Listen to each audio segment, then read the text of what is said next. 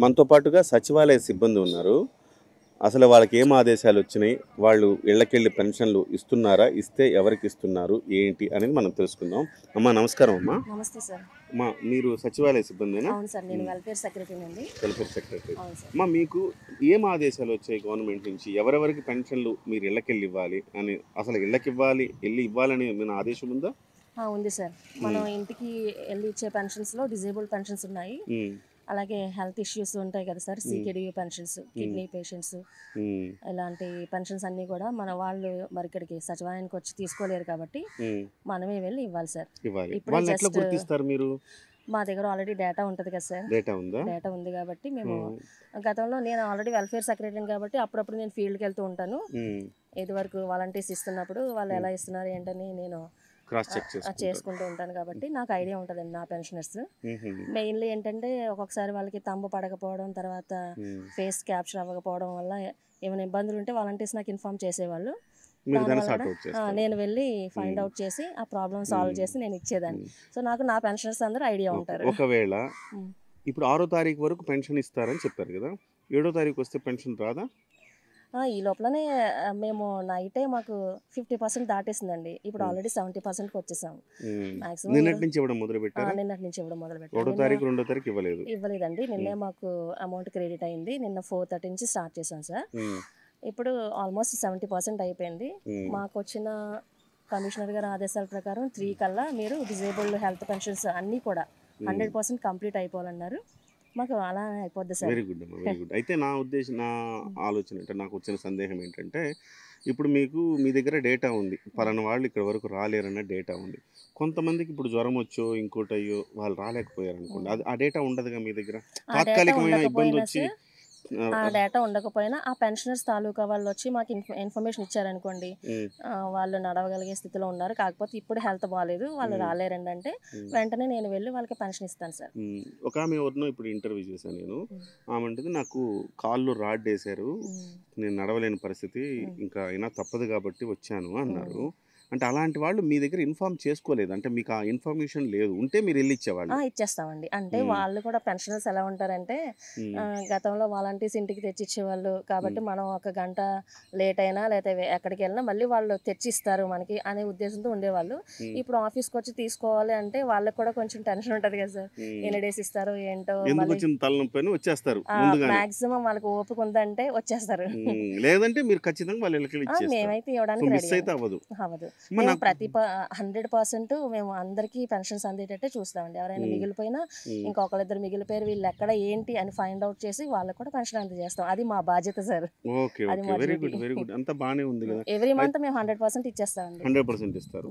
ఇప్పుడు నాకున్న సందేహం ఏంటంటే ఇప్పుడు ఆరో తారీఖు లోపు తీసుకోలేకపోతే. ఏడో ఇప్పుడు ఊర్లో లేరు. అలాంటి వాళ్ళకి ఏంటి పరిస్థితి?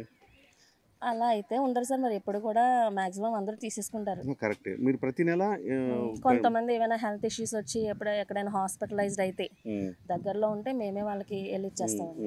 నువ్వు ఉదాహరణకి వాళ్ళు ఎక్కడో వాళ్ళ అబ్బాయి ఇంటికో అమ్మాయి ఇంటికో వేరే ఊరు వెళ్ళారు రాలేకపోయారు. రాలేకపోతే ఆ నెల పెన్షన్ పోయినట్టేనా? మరి ఇప్పుడైతే అలాగే జరుగుతుందండి. ఇప్పుడున్న పరిస్థితి ప్రకారం పోయినట్టే. వాళ్ళు ఎక్కడున్నా కానీ ఎన్నో తారీఖు లోపల రావాలి? ఈసారి అంటే ఆరో తారీఖులు చెప్పారు. మామూలుగా అయితే ఎన్నో తారీఖు రావాలి? ఫైవ్ డేస్ ఇస్తారు సార్. మొదటి ఐదు రోజులు. ఒకటో తారీఖు నుంచి ఐదో తారీఖు లోపు వచ్చి తీసుకోవాలి పెన్షన్. ఒకవేళ ఏదైనా కారణాలతో. వాళ్ళు రాలేకపోతే. మీకు ఇంక పెన్షన్ ఆ నెల ఉండదు. ఆ నెల మరి మాకు దగ్గరలో ఉంటే మేము. ఇచ్చేస్తామండి. దూరంగా ఎక్కడో హైదరాబాద్లో చెన్నైలో ఉన్నారనుకోండి. అవైలబిలిటీ లేదనుకో నేను నేను అడుగుతుంది అదే మీకు. అవైలబిలిటీ లేరు. చెన్నైలోనో హైదరాబాద్ లోనో ఉన్నారు అలాంటప్పుడు మీరు వెళ్ళలేరు కదా? పోనీ విశాఖపట్నంలో ఉన్నామని తడిచి మోపడైద్ది. ఆ. పెన్షన్ డబ్బులు మళ్ళీ మీరు ఖర్చు పెట్టుకోవాలి కదా. వెళ్ళాలంటే. సో అలా వెళ్ళలేరు కదా వెళ్ళలేనప్పుడు ఐదో తారీఖు లోపు వచ్చి తీసుకోకపోతే పెన్షన్ రాదా నెల? అంతే సార్. ప్రస్తుతం ఉన్న ఆదేశాల అవును సార్. వన్ మంత్ మిస్ అవుతుంది. వన్ మంత్ మిస్ అయిపోతుంది. రెండో నెల క్యారీ ఫార్వర్డ్ అవ్వదా అది? స్టార్టింగ్లో అయ్యేది సార్. తర్వాత అవ్వట్లేదు సార్. స్టార్టింగ్లో అయితే మనం పోర్టబుల్ కూడా ఇచ్చేవాళ్ళం. వాళ్ళు ఎక్కడున్నా సరే ఇప్పుడు ఇక్కడ క్యాండిడేట్ వేరే చోటుకి వెళ్ళినా అక్కడ సచివాలయంలో ఇచ్చేసేవాళ్ళం అండి. అప్పుడు ఆ ఫెసిలిటీ ఉండేది పోర్టబుల్. ఇప్పుడు పోర్టబుల్ లేదు కాబట్టి మనం ఇవ్వడానికి అవకాశం లేదు సార్. మీ సచివాలయ పరిధిలో ఎంతమంది పెన్షనర్స్ ఉండొచ్చు? మాకు త్రీ హండ్రెడ్ ఫిఫ్టీన్ ఉన్నారు సార్. త్రీ హండ్రెడ్ ఫిఫ్టీన్ ఉన్నారు. మీరు ఇళ్ళకెళ్ళి ఇవ్వాల్సిన వాళ్ళు ఎంతమంది ఉండొచ్చు? ఒక టెన్ మెంబర్స్ ఉంటారండి అంతే. అంతేనా? తక్కువ ఒక పది మంది మంది ఉన్నారు. ఉంటారు. మీ సచివాలయ సిబ్బంది ఎంతమంది ఉన్నారు? నైన్ మెంబర్స్ ఉన్నారు సార్. నైన్ మెంబర్స్ ఉన్నారు. నిజంగా అనుకుంటే వంద మంది ఉన్నా ఇవ్వగలరుగా మీరు? ఇచ్చేస్తాం సార్. అంతేగా? పెద్ద సమస్య కాదు.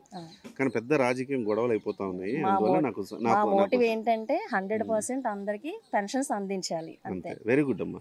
వాళ్ళు. ఫైవ్ హండ్రెడ్ ఉన్నా సిక్స్ హండ్రెడ్ ఉన్నా అది మా డ్యూటీ సార్ మా బాధ్యత అందించాలి అంతే. ఒక్క. పర్సెంట్ కూడా మిస్ అవ్వకుండా. అంటే వీళ్ళు అంటున్నారు కదా సచివాలయ సిబ్బందిని ఉపయోగించవచ్చు కదా అని ప్రతిపక్షాలు అంటాయి. సచివాలయ సిబ్బందిని మేము ఉపయోగించలేము అని చెప్పి సెర్ప్ వాళ్ళు అంటా ఉన్నారు.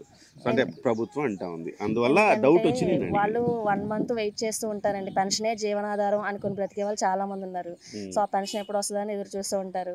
ఆ పెన్షన్ మనం వాళ్ళ చేతిలో పెట్టగానే వాళ్ళ మొహంలో చాలా ఆనందం వస్తుంది.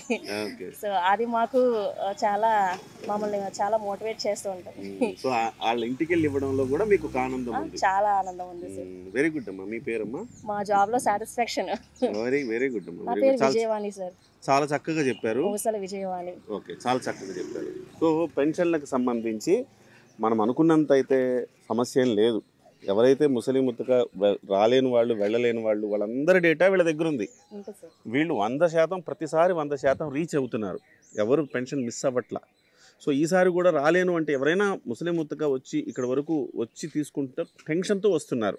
అమ్మో రాలేదు మళ్ళీ మిస్ అయిపోతామన్న ఒక భయంతో టెన్షన్తో వస్తున్నారే తప్ప ఇది వాళ్ళు వీళ్ళు బాధ్యత తీసుకోక కాదు బాధ్యత లేక కాదు. సచివాలయ సిబ్బంది చాలా పర్ఫెక్ట్గా వాళ్ళ బాధ్యతలు వాళ్ళు నెరవేరుస్తున్నారు. బహుశా ఎవరైనా మీకు ఎవరికైనా పెన్షన్ రాదు అన్న టెన్షన్ ఉంటే కూడా ఇంకా ఇది నాలుగో తారీఖు మీరు వాళ్ళకి ఎవరో మీ చుట్టుపక్కల వాళ్ళకి చెప్పొచ్చు చెబితే వాళ్ళు తీసుకెళ్ళి ఇస్తారు. మీరు రాలేని పరిస్థితుల్లో వాళ్ళు తీసుకెళ్ళి మీ ఇంటికే తీసుకొచ్చి ఇస్తారు. దాని గురించి ఏం టెన్షన్ ఏం లేదు. దీని గురించి అనవసరంగా రాజకీయ పక్షాల మధ్య వాగ్వాదం జరగొచ్చేమో కానీ ప్రజలైతే దీని మీద పెద్ద ఆందోళన చెందాల్సిన అవసరం లేదు. థ్యాంక్స్ అమ్మా.